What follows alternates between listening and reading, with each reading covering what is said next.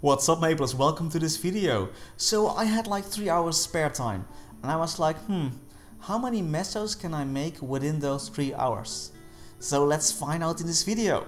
And just so you know, you have to get some decent damage to do the same things as I did in this video because as you can see my damage is okayish and um, you need to be somewhat high level, uh, 140 preferred and you need to have one friend. The reason is that because you need to be able to at least solo a few bosses like normal Zakum or Hilla if you want to like uh, get some mesos. I'm not sure if you guys have seen my uh, vid other video about the daily why daily boss runs are important, but this is exactly why. We're going to do the daily boss runs uh, together with Femke for the Abyss because you need two people, and we're going to get all the drops. Now it's pretty important because the drops they sell for so many mesos. And because I am pretty strong, Femke is pretty strong and she's a page, so she automatically wins every boss fight. See, uh, we can just uh, we can get all the potions and sell them, of course. So we did two times. I did two times Zakum, uh, two times Hilla, all the Root of boss abysses. Whoa, all the Root of boss abysses, all the Root of abyss bosses. That's like a tongue breaker. And after that, I sold all my potions that I found, and I got a nice 8 million already just from that.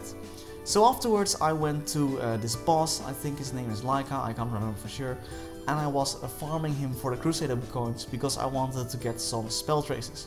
So this took about like 50 minutes, I went through all channels, but apparently some other Mapler like stole all my Laikas and now there is like nothing left for me, there was only a few so I got a few coins. And after that I was like screw it, I'm gonna do the number one thing that generates mesos, trading because of course not only do I need to level up, but also there are elite monsters or elite bosses which will uh, drop cubic blades or chaos cubic blades which you can sell for some pretty nice amount of mesos. Even though of course these bosses are pretty strong. Also they drop level 140 equipment, which is like super nice.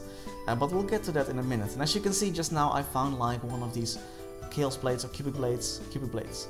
And you can also, there's also uh, plants there of course like the golden plants or heartstones which you can harvest and you might get lucky and find a super rare drop. Uh, I did get a found like uh, one of those gold plants, but I didn't really do anything with it because well I didn't get any good drops and three hours is not nearly a long, long enough time to actually do like kind of weird stuff, herbalism stuff like that with these uh, with these drops. So after killing a few of these bosses, I was quite unlucky today. I only I found a couple of uh, of bosses and this I mean, the total thing, including like selling the stuff later on, took like two hours.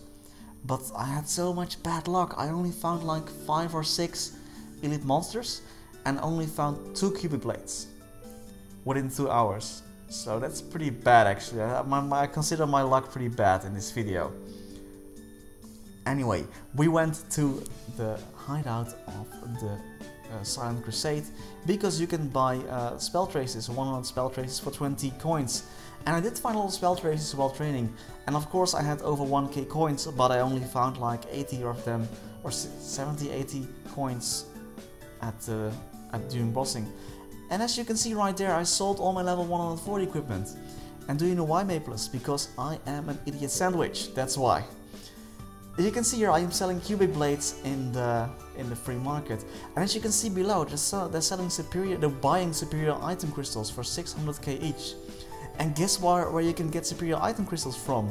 Exactly, from disassembling level 140 plus or level 120, level 110, level 140 plus, whatever, high level equipment. And I just sold all my stuff. And because I sold all my etc drops as well, I currently didn't have any of them anymore. So I went back to Golems, to the ancient mixed Golems, to get this equipment again and disassemble it this time.